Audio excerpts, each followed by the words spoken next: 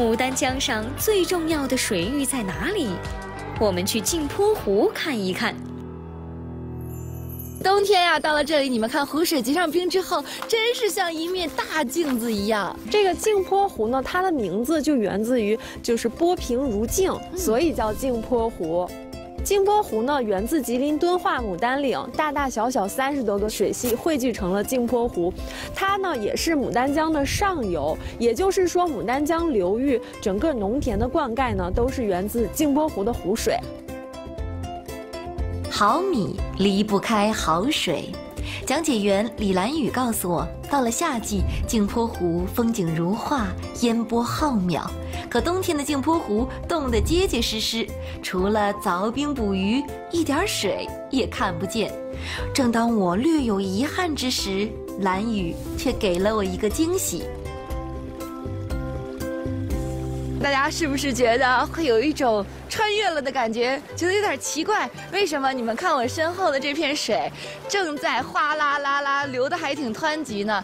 这个呢，就是镜泊湖的一个天然的出水口。哦，嗯，下游呢，就是流到的是经过黑龙潭，然后就流进的是牡丹江。怪不得大家都说呢，其实来到这知道镜泊湖呢是第一大火山堰塞湖。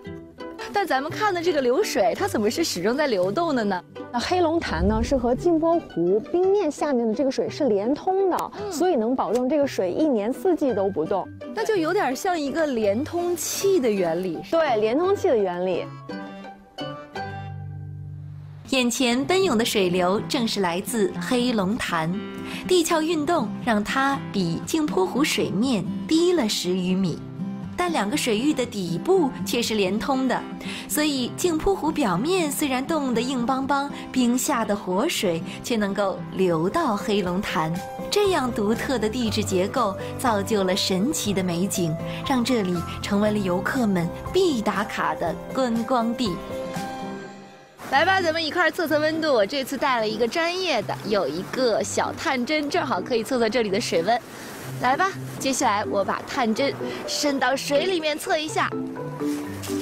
哇，大家看，七点八摄氏度。镜泊湖的水不仅干净清澈，而且富含矿物质。正是这样的水，在种植季节时流到了田间，浇灌了一棵棵石板上的禾苗。